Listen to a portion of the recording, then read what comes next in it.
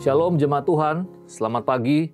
Senang rasanya kembali dapat menyapa Bapak Ibu jemaat terkasih sebelum kita kembali lagi beraktivitas di uh, kesibukan kita masing-masing. Kembali firman Tuhan uh, ingin kita pikirkan bersama-sama dari Filipi pasal yang keempat ayat 11 sampai ayat yang ke-13.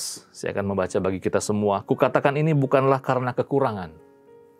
Sebab aku telah belajar mencukupkan diri dalam segala keadaan Aku tahu apa itu kekurangan, dan aku tahu apa itu kelimpahan. Dalam segala hal dan dalam segala perkara, tidak ada sesuatu yang merupakan rahasia bagiku, baik dalam hal kenyang maupun dalam hal kelaparan, tidak dalam hal kelimpahan maupun dalam hal kekurangan.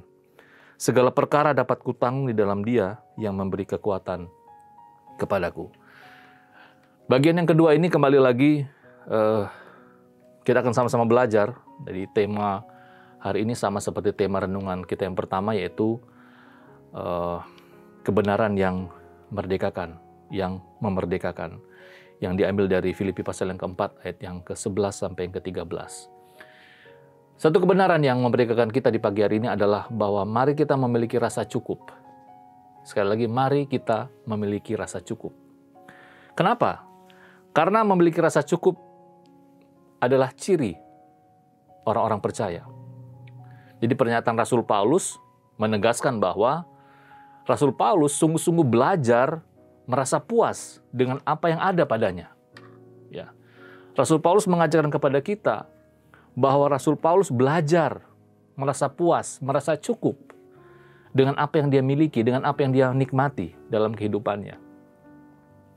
Karena rasa cukup itu relatif Bapak Ibu Saudara terkasih kalau kita melihat di Matius pasal yang ke-6 ayat yang ke-11. Cukup untuk keluarga A belum tentu juga cukup untuk keluarga B.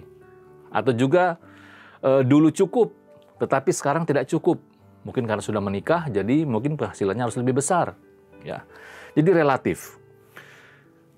Oleh sebab itu dalam kita hidup sebagai orang percaya, prinsip yang paling penting adalah Mari kita mengatur keuangan kita dengan baik. Ya.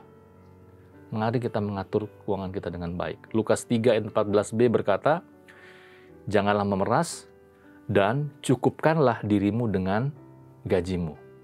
Oleh sebab itu yang pertama, aplikasinya, jangan kita makan gengsi atau jangan kita pakai gengsi.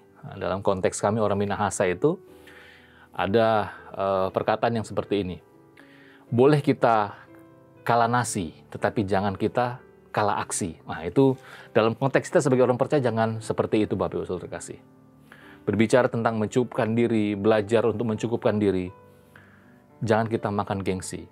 Nah, kita boleh pingin makan yang enak boleh, tetapi kalau kita melihat keuangan kita terbatas, ya kita nikmati saja kalau memang kita hanya bisa makan tahu tempe telur begitu ya, Bapak Ibu. Yang itu yang pertama. Yang kedua, dan jangan kita menjadi hamba uang tentunya. Ini penting. Ibrani 13 ayat 5 berkata, Janganlah kamu menjadi hamba uang dan cukupkanlah dirimu dengan apa yang ada padamu.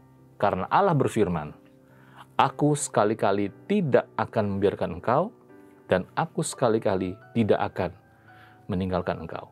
Kiranya firman Tuhan pagi hari ini dapat kembali mengingatkan kita, memotivasi kita bukan saja harus bekerja keras, tetapi juga harus mengatur keuangan kita, membuat segala sesuatunya cukup dalam kehidupan kita.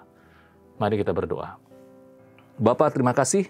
Kami bersyukur kepadamu karena kami kembali lagi diingatkan.